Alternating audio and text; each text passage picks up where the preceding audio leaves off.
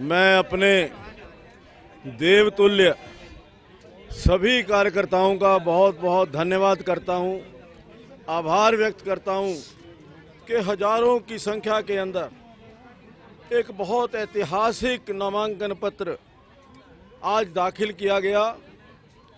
मैं समझता हूँ कि शायद पंचकूला में पहली बार किसी एक नामांकन पत्र के अंदर इतने कार्यकर्ता, इतना जनसमूह जो है वो देखने को मिला है। ये इस बात का प्रतीक है कि पंचकूला की जनता ने मन बना लिया है। पंचकूला की जनता ने तय कर लिया है कि तीसरी बार पंचकूला से भारतीय जनता पार्टी जीत करके जाएगी। और यहाँ से मैं जनता को विश्वास दिलाना चाहता हूँ। यदि वो मुझे तीसरी बार विधानसभा के अंदर भेजते हैं तो मैं ज़्यादा कुछ नहीं कहूँगा। मैं ये नहीं कहूँगा कि पंचकूला को पेरिस बनाऊँगा।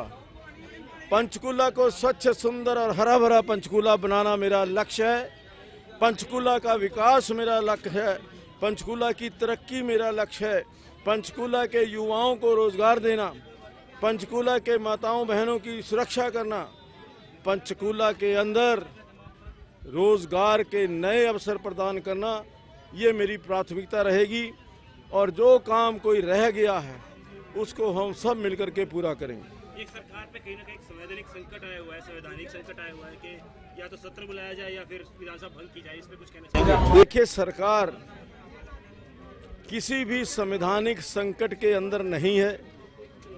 सरकार इतनी मज़बूत है कि कोई भी संकट को बड़े दृढ़ निश्चय के साथ, हौसले के साथ उसको झेल भी सकती है, उसको नाकाम भी कर सकती है।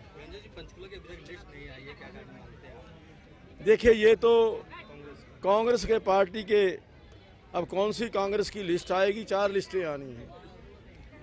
एक हुड्डा कांग्रेस की लिस्ट आने वाली है, एक शैलजा कांग्रेस की लिस्ट आने वाली है एक सुरजेवाला जी की कांग्रेस की लिस्ट आने वाली है और एक कैप्टन अजय सिंह यादव की लिस्ट आने वाली है।